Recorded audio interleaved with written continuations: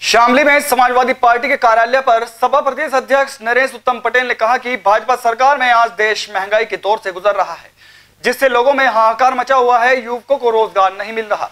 Petrol के दाम लगातार आसमान छू रहे हैं और देश के प्रधानमंत्री नरेंद्र मोदी विदेशी यात्राओं में व्यस्त हैं। उन्होंने कहा कि भाजपा सरकार में व्यापारी दलित, पिछड़े मजदूर, गरीबों का उत्पीड़न हो रहा है। देश में लोकतंत्र को खतरा होने के चलते ही सभी पार्टियों को एक होना पड़ा।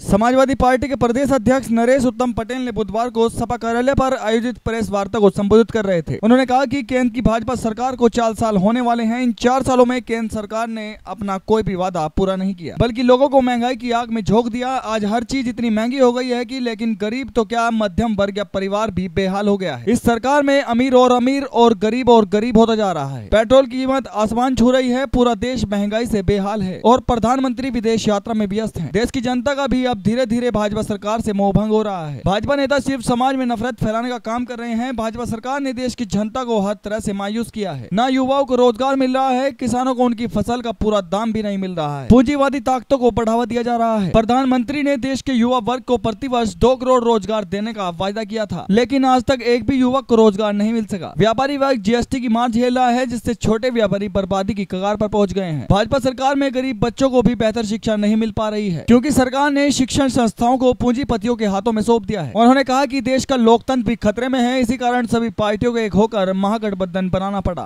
केवल कहने की बात हमारे सैनिकों के मनोबल डाउन कर। अभी भी अभी तक जितनी हुई प्रधानमंत्री ने कभी पर बधाई नहीं मुख्यमंत्री ने स्पष्ट किया कि हमको ईद से रमज़ान से कोई लेना देना नहीं है। हम हिंदू हैं हिंदू धर्म को मनाए ये सही? है। इनकी कोई नीति नहीं है। कैसे वोट मूर्ख बना के जनता को हम ले लें और कैसे तोड़ फोड़ पैसे रुपये छूट फरेब से हम सरकार बना लें? केवल यही एक नीति भारतीय जनता पार्टी की नीति है और कोई नहीं। तो किसकी मानते हैं भारतीय जनता पार्टी का एक बात सहारा चुनाव लड़ने का देश में प्रदेश में ज़िले में हिंदू मुसलमान को लड़ा करके उसका लाभ लेने का।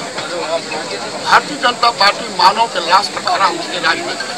समाजवादी पार्टी दो लोगों के बीच में एकता पैदा नहीं अखिलेश